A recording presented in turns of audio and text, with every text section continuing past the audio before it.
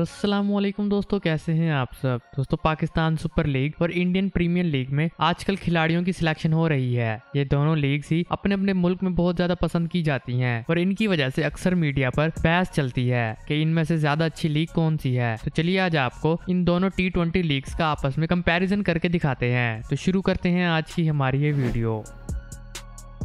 दोस्तों, सबसे पहला पीएसएल और आईपीएल कब खेला गया था। दरअसल सन 2007 में जैसे ही क्रिकेट का पहला टी वर्ल्ड कप खेला गया था तो उसके ठीक ही एक साल बाद सन 2008 में आईपीएल की पहली लीग शुरू हो गई थी, जिसका पहला सीज़न राजस्थान राय जीत जाती है, जबकि पीएसएल की शुरुआत सन 2016 में होती है और इसका पहला सीज़न इस्लामाबाद यूनाइटेड ने जीत लिया था। इसी तरह अभी तक पीएसएल के सिर्फ़ आठ सीज़न हो चुके हैं, जबकि आईपीएल के आज तक सोलह सीज़न खेले जा चुके हैं।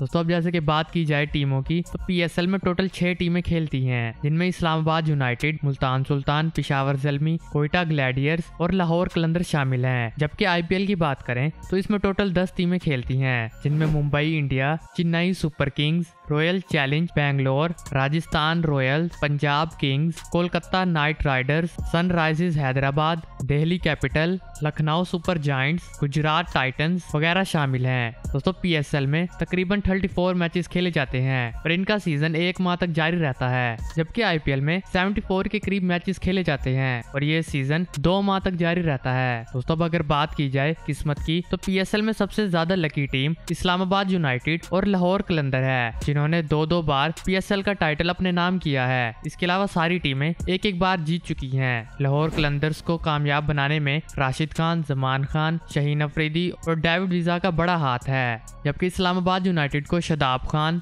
शेन वटसन, आसिफ अली और एंड्री रसन ने अपनी बड़ी कामयाबियाँ डाली हैं। जबकि आईपीएल की सबसे लकी टीम मुंबई इंडियंस और चेन्नई सुपर किंग्स हैं। इन्होंने पाँच पाँच बार आईपीएल का टाइटल जीता है। दोस्तों, इसी तरह अगर बदकिस्मती की बात की जाए तो आईपीएल में आरसीबी का नाम सामने आता है। जिन्होंने पंद्रह बार आईपीएल खेलने के बावजूद एक बार भी टाइटल अपने नाम नहीं किया। हैरानी की बात तो ये है कि इस टीम में इतने बड़े बड़े खिलाड़ी होने के बावजूद भी ये टीम कभी टाइटल नहीं जीत सकी। और अगर पीएसएल की बात की जाए तो इसमें लाहौर कलंदर का नाम ही सामने आता है, क्योंकि इस फ्रेंचाइज के ओनर ने बहुत पैसे लगाकर ऐसे ऐसे खिलाड़ी भी खरीद लिए, जो पीएसएल खेलने के लिए तैयार ही नहीं थे। लेकिन इसके बावजूद फिर भी ये टीम पहले ही टूर्नामेंट से बाहर हो जाती थी। तो दोस्तों, अब अगर बात की जाए प्राइज मनी की तो पीएसएल में जीतने वाली टीम को 12 crore Pakistani rupees prize money दी जाएगी। हालाँकि पिछले साल ये आठ करोड़ पाकिस्तानी रुपए के बराबर था, जबकि रनर अप के लिए चार करोड़ 80 लाख का इनाम सेट किया गया है, जबकि आईपीएल में चैंपियन टीम को 68 करोड़ पाकिस्तानी रुपीस मनी दिया जाएगा,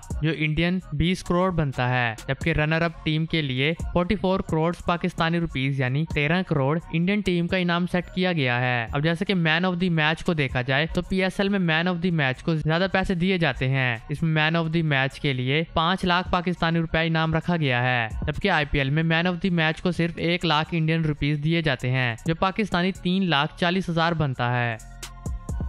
दोस्तों, आज के बस इतना ही। ऐसी इन्फॉर्मेटिव और इंटरेस्टिंग देखते रहने के लिए हमारे चैनल को ज़रूर सब्सक्राइब करें। अगर आपको हमारी वीडियो पसंद है तो इसे लाइक कमेंट और शेयर करना मत भूलें। Thanks for watching